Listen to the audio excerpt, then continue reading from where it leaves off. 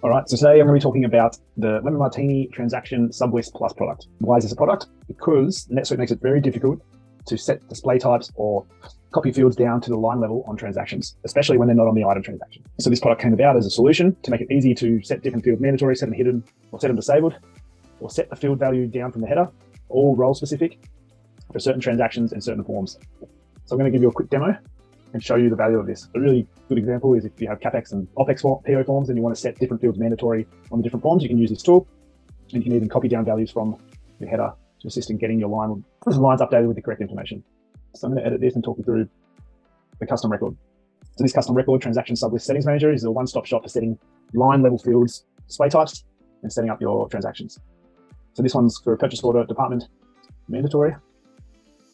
So on the purchase order transaction, the transaction form SSSW PRM purchase order. And then on the expenses sublist, we could also choose the item sublist.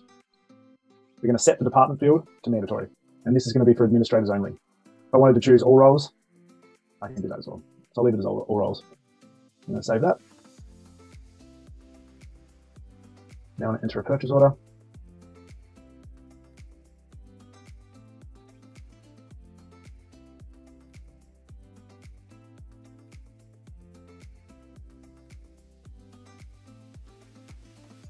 On the expenses sublist, we can see the department's mandatory.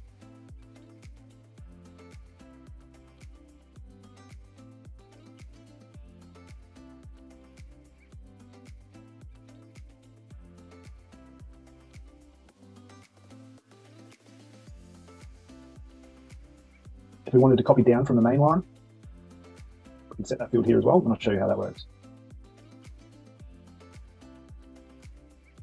Refresh this purchase order. The vendor.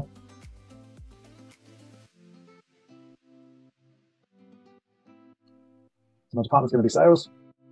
Now I'm on the items because we set up on items. When I select an item, go laptop, it's going to copy down the value from the header straight away.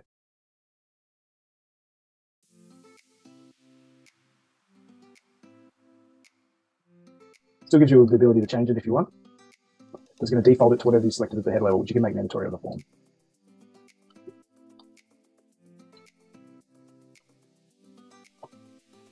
And there you go. That's the basis, basics of setting line level fields mandatory. You can set them hidden, you can set them disabled, um, and you can copy down from the header to the line level, all driven through this one custom record. Which you can have hundreds of these records to set specifically each different custom form, exactly how you want it. You can do it role specific, so that certain departments or certain areas of your business have different fields that are mandatory to others. And that is the Lemon Martini transaction sublist plus product as it is.